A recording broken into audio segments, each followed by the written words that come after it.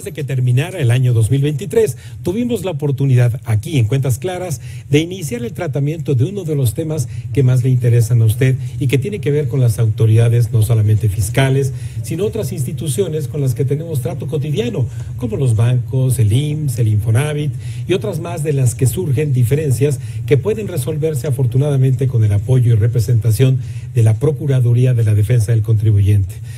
Por ello es que nos acompaña de nueva cuenta la maestra Lucía Juárez Mejía y el doctor Francisco Javier Jiménez, subdelegada y subdelegado de la Prodecon aquí en el Estado de México. Bienvenidos nuevamente. Muchas gracias. Y pues llenos desde luego de, muchas expectativas porque ha sido amplia eh, la, agenda de temas que me han solicitado que podamos ir desaguando con ustedes.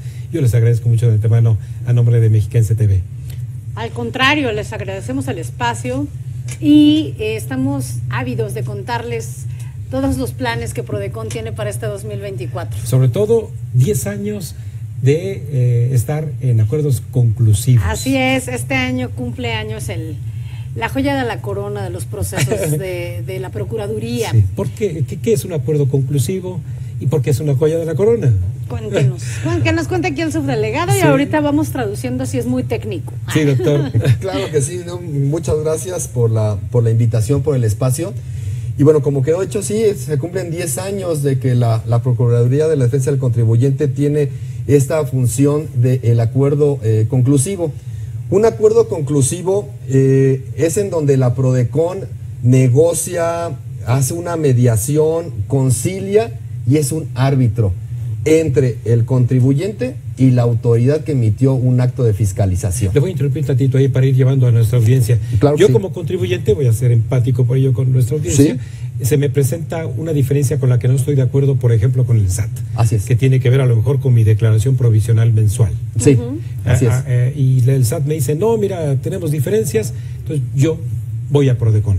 Claro que sí, así, así tal cual. Sí, perdón. Ah, es que hay que ir haciendo acotaciones. Aquí es importante. ¿Por qué? Decías, ¿por qué es la joya de la corona? Es un método, y voy a tratar justamente como bien dices, doctor, ser empático con el contribuyente que no es ni contador ni abogado, ni administrador, o economista o actuario, y que va a decir de qué están hablando estas personas, ¿no? Si yo les digo o les decimos, es un método de heterocomposición, me van a decir, ah, sí, ¿qué es eso? El método de heterocomposición en materia fiscal o en cualquier otra materia del derecho es aquel método que no implica llegar al juzgado. Y eso es muy importante que nuestra audiencia lo sepa. ¿Por qué?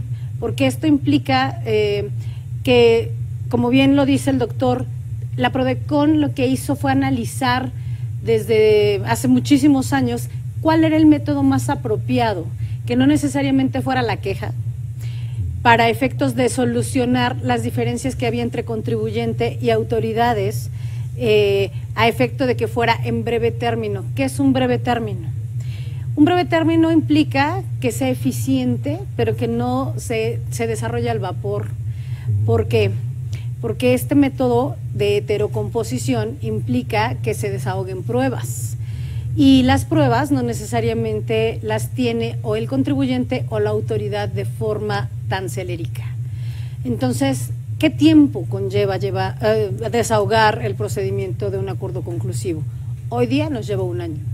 Y tenemos ese, esa, ese, ese plazo eh, forzoso de acuerdo a la ley. De hecho, el acuerdo conclusivo está eh, plasmado en el artículo 69 del Código Fiscal, 69C para ser específico, del 69C al 69H, y ahí nos va diciendo qué plazos tiene, en qué momento hay que presentarlo. Y les voy a decir también algo que es bien importante. Hoy platicábamos con una contribuyente que conocimos en la feria de la semana pasada del Infonavit, que nos tuvieron a bien invitar por allá por el AIFA. La delegada tuvo con nosotros esa deferencia y se nos acercaron muchas cámaras y muchos constructores, evidentemente mucho arquitecto, mucho ingeniero, que no están familiarizados necesariamente con los temas de carácter fiscal. ¿no? Ellos son contribuyentes, eh, pues grandes inclusive contribuyentes, muchos, ¿no? ¿Por qué? Porque tienen nómina, tienen trabajadores, tienen que pagar Infonavit, tienen que pagar ISTE, tienen que pagar SAT, etcétera, ¿no? ¿Y en dónde nos vamos a encontrar? Con la autoridad con la que menos quejas tenemos, que es Infonavit, ¿no? Perfecto. Hoy les dimos una asesoría, se acercaron con nosotros. ¿Hasta qué tope se tienen para poderlos apoyar, este, etcétera? ¿no? Les dimos todo un norte específicamente del tema que, les ocupaba a ellos. Por eso, desde la primera vez que estuvimos aquí contigo, les decíamos, es importante que cada contribuyente se acerque con su problema en específico a la Procuraduría porque el acuerdo conclusivo no funciona igual para todos. Y además que es muy importante que no nos lleguen con los términos quemados. Porque, ¿en qué momento se presenta el acuerdo conclusivo? Perdóname por robarte No, no, adelante, adelante. Este, ¿En qué momento se, presenta? Pues en el momento en el que está la autoridad, decías muy bien, a ver, SAT, ¿no? Estamos en una revisión de escritorio, en una revisión de gabinete, como cualquier este, otro contribuyente. Sí nos llega el oficio de observaciones. Ese es el momento en el que yo puedo voltear a la Prolicón y decirle, auxilio Prodecon, ¿qué quiso decir aquí? En este caso, esta autoridad fiscal que es el SAT me hace un conjunto de observaciones basadas justamente en interpretaciones que solamente la representación que me puede dar Prodecon me puede ayudar a él. Exactamente. Y de ese momento a ultranza para poderlo presentar tenemos 20 días solamente. Ah, bien. Desde que llega a buzón tributario. Exacto. Desde que llega, Desde que llega a buzón tributario. Ahora, buzón tributario también es bien importante que todos los contribuyentes lo, revisemos. De repente, eh, vamos a ver, no sé, ¿cuántos eh, correos electrónicos sin leer? 10 mil, ¿no? Dentro de eso es el, botón el buzón tributario y si no lo vi no pasó. No, no, sí pasó. En el buzón tributario, al momento en que nosotros vamos y nos damos de alta en el Registro Federal de Contribuyentes y decimos, a ver, mi correo es este, la autoridad da por hecho que ese es fidedignamente su correo electrónico y la dirección fiscal que están este, poniendo de forma verídica. Y que hay una recurrencia. Y que hay una recurrencia. y al final del día, si no abren el correo, la autoridad ya entregó, está debidamente notificado, legalmente notificado. Entonces no es porque no lo abrí, ah, no me enteré, no, no, no, no, no. Así no funciona el buzón tributario. Entonces es muy importante que sí estén al pendiente y que no tengan miedo de hacer clic, ¿no? O sea, hagan clic y si al final del día ven que existen imputaciones que no son necesariamente las adecuadas, entonces volteen a Prodecon y con un tiempo adecuado nos digan, ¿sabes qué? Que este cálculo está exorbitante. Este cálculo, no, espérame, yo ya había pagado porque hice provisionales este y así vayamos rubro por rubro para que entonces al momento y yo como contribuyente me voy enterando de ese avance exacto exacto. Todo lo que nosotros hacemos en todos los procesos no solamente en los conclusivos en las quejas en las representaciones legales siempre se va notificando al contribuyente. Este, pero particularmente hoy que venimos a hablar de los conclusivos, se presenta en este momento, en, el momento que, que, te comento, y qué es lo que sigue. Ah, bueno, pues entonces la autoridad eh, dice, a ver, ah, esto no lo tenía registrado, ¿no? ¿Qué es lo que hace Prodecon que al final del día resulta, como bien lo dice aquí el doctor Francisco, eh, un tema de arbitraje también? ¿Por qué arbitraje? Porque a partir de nuestra mediación o arbitraje, lo que nosotros hacemos es citar a petición del contribuyente o a petición de la autoridad a cualquiera de las partes para decir, a ver, vamos a organizar una mesa de trabajo. Porque en esta mesa de trabajo la autoridad a lo mejor no ha valorado todas estas pruebas que yo como contribuyente tengo. Aquí tengo un dictamen técnico de mi contador, aquí tengo una fe de hechos notariada, aquí tengo eh, mis pagos provisionales que hice posterior a que me habías hecho mis oficios de observaciones y que finalmente necesito que me vayan haciendo las reducciones y viendo cómo van a quedar mis cantidades finales para que a partir de esa, la firma del acuerdo conclusivo yo pueda ir haciendo el pago de esas contribuciones que pudieran quedar pendientes. Eh, eh, en, esos pagos, esas contribuciones, están incluidos eventuales multas y recargos. Esa es la otra parte maravillosa. A ver, que nos la cuente aquí. Bueno, doctor.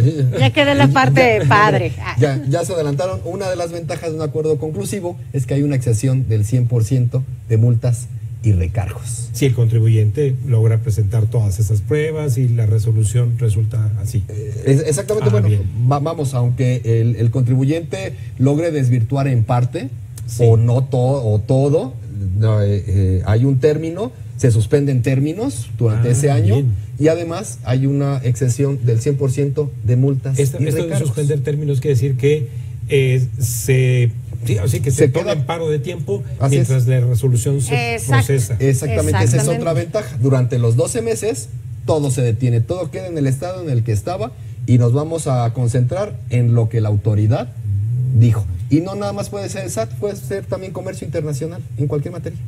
Ah, viene, aduanas. Aduanas, IMSS, Infonavit, con agua. Con agua, exacto.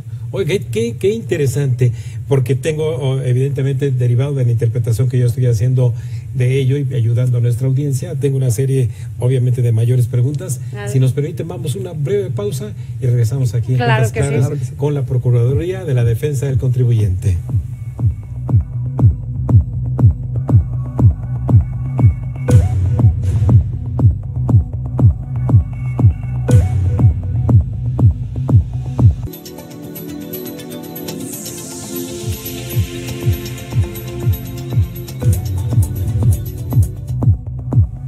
Continuamos en el estudio, en esta conversación, con nuestra delegada de la Procuraduría de la Defensa del Contribuyente, la maestra Juárez, y con el doctor Jiménez, subdelegado de la PRODECON.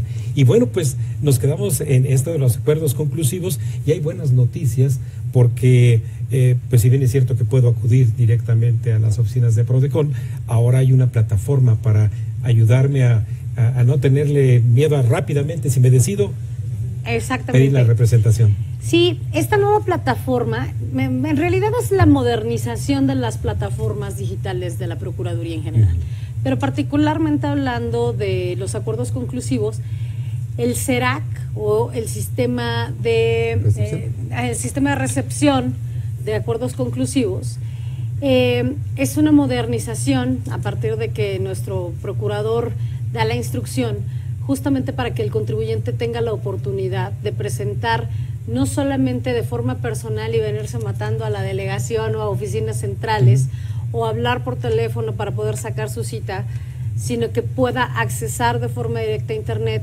y en seis pantallitas pueda subir su acuerdo, subir sus pruebas, le giran el acuse y en ese momento tiene el seguimiento total vía la plataforma electrónica. Todo esto de las pruebas, se supone es la documentación en documentos en PDF. Exacto. Está, está muy similar al tema de recepción y me voy a permitir decir que un poco mejor ah, que en el Tribunal Federal de Justicia Fiscal y Administrativa. Este no solamente es un tema que aduce a, la modernización en función de post pandemia, sino que eh, tengan oportunidad los postulantes o los contadores públicos o las personas que llevan de forma directa el control de sus empresas de subir un acuerdo conclusivo eh, hasta las 11.59, como son justamente las oficialías mayores de los tribunales. Ah, Entonces, y no así 7 de la noche, ¿no? Sí, sí. Entonces, ¿esto qué es lo que nos implica? Pues justamente que el contribuyente se sienta mucho más arropado, se sienta mucho más armonizado y mucho más seguro de que la plataforma le va a arrojar en ese momento una acusa de recepción y que va a poder ir viendo el seguimiento del proceso, él en pantalla, independientemente de que, obvio, las delegaciones, en este caso nosotros aquí en el Estado de México, les daremos seguimiento.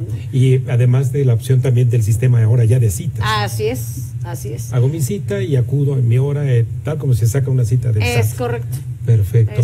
En materia de estos acuerdos conclusivos, entonces eh, eh, nuestra audiencia escuchó que es, es, un año, pero ese sería el plazo máximo. Exactamente. plazos Hay plazos menores. La verdad es que hemos tenido muchos acuerdos de carácter afortunado en el que el contribuyente puede resolver ya que cuenta con su contabilidad y con la contabilidad pues si no tan en orden, les ayudamos a ponerle en orden, ¿no? que también forma parte de nuestra asesoría. Entonces de repente tienen así de, híjole, es que este papel no lo considero tan importante. No, sí, sí es muy importante, vamos a adicionarlo. Acuérdense que en materia fiscal, como yo siempre les digo en las mediaciones, aquí lo que abunda no daña, ¿no? Es importante, ¿por qué? Porque la autoridad al momento de emitir si procede eh, el tema del acuerdo conclusivo, está de acuerdo en firmar el conclusivo, dice, bueno, sí, porque está debidamente argumentado y soportado en las pruebas que está adjuntando el contribuyente. Mm. Y no solamente por la fundamentación que expone PRODECON o en su caso el contribuyente, sino que también está debidamente este, soportado documentalmente. Ah, bien, bien. Entonces sí es importante que tanto las autoridades, la verdad es que aquí en Estado de México siempre han tenido la apertura para acudir a todas las eh, reuniones de acuerdos conclusivos, eh. tanto a las firmas como a las reuniones previas para poder desahogar pruebas para los contribuyentes, en favor de los contribuyentes. Claro, sí. Doctor Jiménez, regresando a esta parte de las multas y recargos, ¿esto ah, quiere decir que en las resoluciones de acuerdos conclusivos, si tiene que haber alguna actualización, etcétera, el contribuyente va sabiendo ahí en el, pas, el paso a paso, eh, que tiene que ser además si es que hay una liquidación total de su crédito. Así es, y ahí es cuando, eh, bueno, parte del, objetivo del acuerdo conclusivo es que no pague ninguna multa, ningún recargo, ni, ninguna actualización. Entonces es una ventaja. Y bueno, la suspensión de términos. De hecho, desde el sistema, una vez que el contribuyente este, envía el, acuerdo conclusivo, la solicitud de acuerdo conclusivo, ya se suspenden términos. Y es muy fácil entrar, es en la página de prodecom.gov.mx, bien hay una ventana emergente, le da uno clic, entra, escribe los datos son muy sencillos, correo electrónico, nombre, aceptar, se despliega ya la, bueno, su contraseña, se pone una contraseña, entra a la plataforma, y es de lo más sencillo, ya tuvimos los primeros A ver si aquí están, si estamos bien.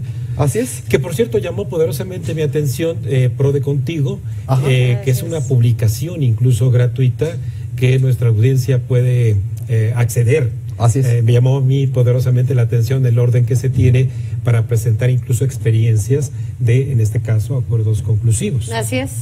Así es. Esta revista es bimestral. Sí, es correcto. Es, bimestral y tiene... Tuve la oportunidad de recibir en su pasada visita de ustedes de estas... Eh, sí, tiene, tiene muy buenos artículos como por ejemplo lo de la cartaporte. Es correcto. Para los transportistas y mm. con el nuevo sistema del SAT. en donde ya es obligatorio tener la cartaporte y viene un, un, artículo bastante interesante hasta lo que se tiene que hacer para obtener la cartaporte en el portal del SAT para los que se dedican al, transporte. Sí, al transporte. Entonces, eh, doctor, interesante. Y también antes de en la primera parte de esta conversación, nos abrimos también a, los acuerdos conclusivos en aduanas. esto tiene que ver con comercio internacional. Sí, así, es. Eh, hay empresas entonces comercializadoras también. Claro. Si bien hablamos de las constructoras, etcétera, las comercializadoras también tienen. Sí, sí, así es. O sea, hay empresas que están, que importan y que llegan a los recintos fiscalizables que están en, el puerto de Lázaro Cárdenas, Michoacán, por ejemplo. Aeropuerto Internacional de la Ciudad de Toluca, Aeropuerto Y su domicilio fiscal estando en el Estado de México se puede acudir a, resolverlo acá, no necesariamente ir a Michoacán. Así es. Es correcto. Es en donde está, o sea, al final del día las delegaciones funcionamos de acuerdo a donde está el domicilio de la autoridad a la que se le está tributando. Ah, Pero, por ejemplo, si usted es contribuyente de estado de alta en Tamaulipas, sí. Si yo arrojo un oficio al SAT de Toluca, me van a decir no tengo información. Pero este contribuyente estado de alta en Tamaulipas, pídesela allá. Y entonces yo giro un oficio solicitando la información de usted por allá. Y el SAT me manda la información. Ah, bien, bien, bien. Oh, pues está fantástico. no, hay excusa para no entonces buscar justamente la asesoría y resolver esto conversacionalmente con nuestra contraparte, que es justamente la Exacto. Además, es muy importante que no pierdan de vista, como se los dijimos la vez pasada, nosotros somos los defensores de los derechos humanos del contribuyente. El ombudsperson. Exacto, el ombudsperson. Muy bien. Eh, antes de irnos, eh, desde luego quiero eh, pues anunciarle a nuestra audiencia que vamos a tener estas mesas de análisis con nuestra delegada y subdelegada en el Estado de México por la cantidad de temas que surgen de interés justamente, tanto empresas como también a personas en lo particular. Ya se nos viene, y yo lo guardé por aquí, ¿verdad? La declaración anual. Exactamente. se las pongo, miren, ya pronto se viene esto. Prodecon tiene este boletín Así es. en su plataforma. Aquí está. Entonces pronto estaremos también platicando acerca de ello porque bueno, pues este, estamos muchos obligados a hacer declaración anual. Así es, vienen las declaraciones anuales en marzo y en abril, pero también hay muchos temas importantes que comentar por ejemplo, esas declaraciones que hacen las asociaciones civiles ante Indesol, y esas son en febrero. Entonces, bueno, ¿qué les parece si también de eso hablamos? Sí, claro que, sí. Las llamadas asociaciones civiles eh, sin fines de lucro. Exactamente. Perfecto. Eso es como tributan, ¿no? Sí. O cuando son las altas de los registros federales de contribuyentes, ¿cuántos hay? Por lo menos 22, ¿no? Pues temas de análisis aquí para presentar a nuestra audiencia. Yo les agradezco mucho, doctor Jiménez. Muchísimas Al contrario, nosotros siempre. casa. Muchísimas gracias. 2024 será un placer estar aquí con ustedes. Trabajar de la mano. Muchísimas Muchas gracias. Bueno, pues llegamos hacia el final de este programa de Economía y Finanzas con cuentas claras para ustedes, agradeciendo la gentileza de su atención e invitándole a que nos vea y escuche la próxima semana aquí en, en la Agencia Mexiquense de Noticias Mexiquense TV por el canal 34.2 en todo el Estado de México, Hidalgo, Querétaro, Morelos y la Ciudad de México. Buenas noches y hasta la semana próxima.